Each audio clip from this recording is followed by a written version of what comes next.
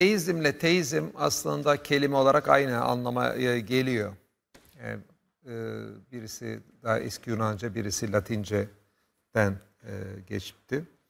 E, buradaki ifade anlamından baksanız aslında tek tanrı inancını beyan ediyor. Fakat kavramsal olarak kullanışında deizmle şu ifade edilmeye çalışılıyor.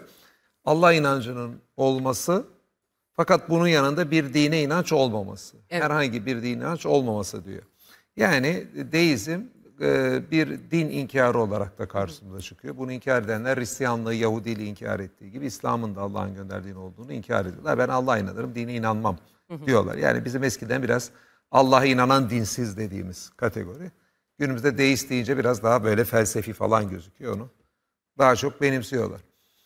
Şimdi deistlere karşı da ilahiyatçılarımız ne yapmalı? Buna girelim. Evet. Şimdi e, deist olarak kendini ifade edenlere baktığımızda biraz kurcalandığında aslında bir tanrı inancının olmadığı da gözüküyor. Çoğunu benim sahada gördüğüm. Yani normalde bir deistim diyen kişide tanrı inancı olması lazım ama yani genelde baktığımızda biraz kurcaladığımızda onun da sağlam olmadığı gözüküyor. Bence deistim diyen insan aslında bu ifadesiyle ne demek istiyor? Allah inancı ne şekilde sorgulamak lazım? Eğer ki bazılarına benim gördüğüm vakaya rastlarlarsa Allah inancının olmaması bence mutlaka önce konuya Allah'ın inancıyla başlamak lazım. Şahsın Allah'a inancı tam yerinde değilse. Ee, Allah'ın varlığının birçok delili olduğu kanaatindeyim evrenden. Evrendeki hassas ayarlardan, başlangıcından, yasaların varlığından bence mutlaka bunlar anlatılsın. Yani Allah'ın varlığını bence tam manasıyla temellendirmeden başka bir konunun tartışılmasına geçilmemesi Değil mi? lazım. Öncelikle Mantıksal oturtmak olarak. lazım Evet. Allah'ın varlığını. E, burası tamam. Şahıs değilsin diyor. İslam'ı inkar ediyor.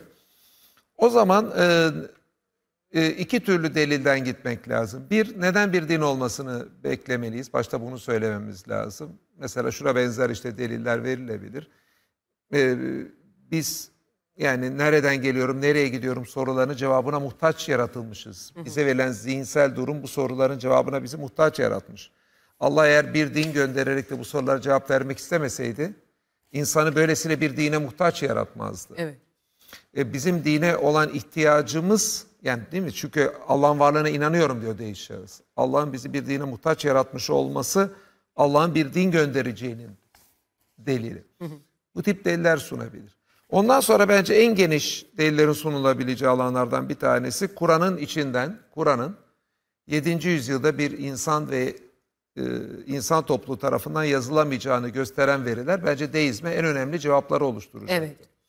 Burada tabii bunlara programın diğer konularında girdiğim için yani tek başına 5-10 program edileceği sadece bazı başlıklar söyleyeyim. Hı hı, buyurun. Mesela Kur'an'ın evrenle ilgili anlatımlarını anlatmamız neden 7. yüzyılda bir insan ve insan topluluğu tarafından yazılamayacağını Kur'an'ın gösterecektir. İşte ne bileyim evrenin başlangıcı, sonuyla ilgili, evrenin genişlediğiyle ilgili Kur'an ifadeler.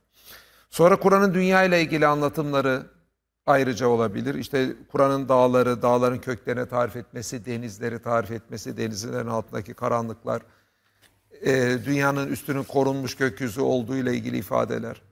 Sonra Kur'an'ın arılardan e, örümceklere kadar böyle mucizevi ifadeleri var. Anne rahmindeki gelişmemizle ilgili böyle canlılar dünyası, biyoloji alanının daha çok konusuna Evet. girenle ilgili onlar anlatılabilir.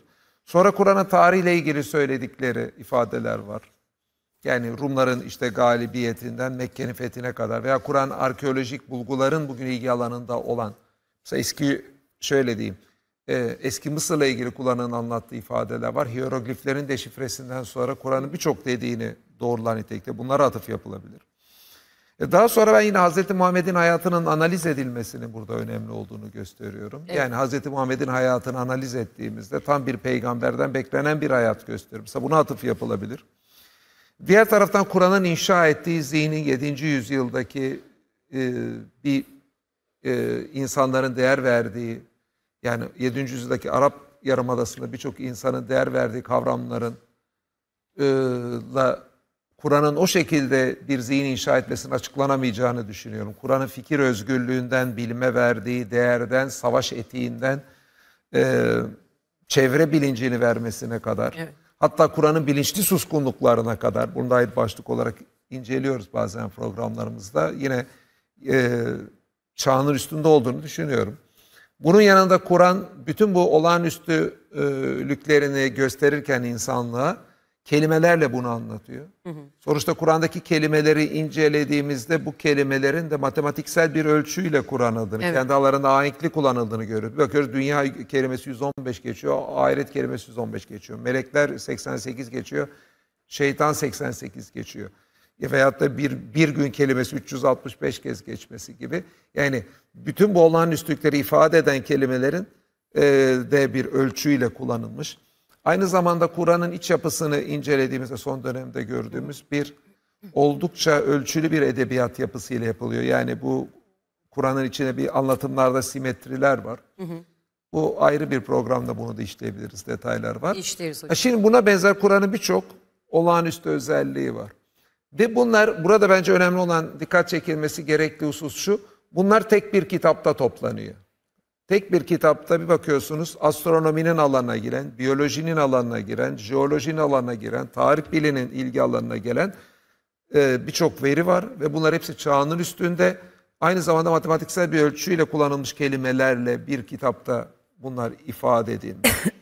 ve aynı zamanda bu kitap e, insanlığa en önemli sorununa, nereden geliyorum, nereye gidiyorum sorusuna cevap vermiş ve milyarlarca insanın Allah'ı her şeyin üzerinde tutmasına sebebiyet vermiş. Şimdi bir insan eğer ki deistim diyorsa demek ki Allah'ın varlığını ve önemini de anlamış olması lazım.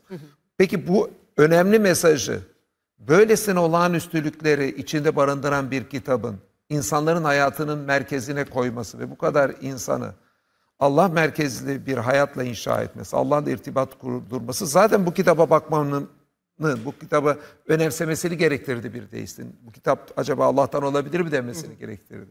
Ha bunun üzerine bu kadar olağanüstülüğünde çıkması ha yani eğer ki bu kitabın Allah'tan olmasına bir kimse ikna etmiyorsa artık ne ikna eder diye e, sormamız lazım. evet. Yani ben buradaki toplam durumu çok önemsiyorum. Toplam durumu kavramı. Yani Kur'an bir tek evrenin genişlediğini söylemiyor. Bir tek denizin altında karanlıkları söylemiyor. Evet. Bir tek anne rahmindeki gelişim aşamalarını söylemiyor. Bir tek matematiksel ölçüsü yok. Bunların hepsine birden sahip tar- tarihte çok büyük fonksiyon icra etmiş kitap. Yani Allah'la irtibatta olmaktan daha önemli ne olabilir? Allah'ı önemsemeden daha önemli ne olabilir? Nereden geliyor, nereye gidiyorum sorularına cevaptan daha önemli ne olabilir? Bütün bu fonksiyonların hepsini bir kitap tek başına yaptıysa, ha bu kitaba bizim işte iman etmemiz için, ona güvenmemiz için, onun üzerinden Allah'ın la irtibat kuran bir kul olmamız için bence bunlar yeterli değil. Ha, bunu yapmamız demek de işte bu kitap üzerine Allah'la irtibatta olmamız demekse işte deizm değil işte Müslüman olmamız demek. Yani kendimizi deist olarak değil Müslüman olarak ifade etmemiz demek. Sonuçta bu yüzden ilahiyatçılarımızın bu Kur'an olağanüstülüklerin, Allah'ın varlığının delilleri olduğu gibi bu Kur'an'ın olağanüstülükleri bizim elimizdeki bence en önemli silahtır. Bunları mutlaka kullansınlar. E, Bunlara ne gerek var iman eden eder gibi saçma böyle bana göre. E, Yani bunların durumun farkında olmayan retoriklere asla kanmasınlar. Ve bunları bence iyice öğrensinler ve kullansınlar. Benim şahsen mesela Neden Müslümanım kitabım var burada. Bu konuyla ilgili yazdığım. Onu tavsiye edebilirim. Morris Bucay'ın Kur'an, Tevrat, İnciller ve Bilim diye işte kitap var. Onu da tavsiye edebilirim. E, Benim kitabım PDF'i internette var. Evet, Caner hocamızın, Emre hocamızın, Caner hocamızın, e, Mehmet Okuyan hocalarımızın e, kitaplarını ücretsiz PDF'lerini kitapların e, web sitelerinden indirebilirsiniz. Mehmet Buradan hocamızın da burada Kur'an e, mealiyle ilgili programını da tavsiye eden. O Kur'an mealinde de bu olağanüstülüklere Kur'an'daki dikkat çekiyor. Böylece hem Kur'an okumuş Evet. hem bunlara da dikkat çekilen bir Kur'an meali uygulamasına telefonlarından ulaşabilir. Ulaşabilir. Ücretsiz o da indirilebiliyor. Ücretsiz olarak indirebiliyoruz. e, ücretsiz indirimin reklamını da biz de ücretsiz yapıyoruz. Hocamızdan ücret talep etmiyoruz. O da Peki. talep etmediği için. Yani ilahiyatçılarımıza işte bunları tavsiye ederim. Yani Kur'an'a önce kendileri güvensinler. evet. Kur'an'ı neden güvendiklerini güzel anlatırlarsa karşısındakinin işte Müslüman olmasında bence bir katkıları olabilir.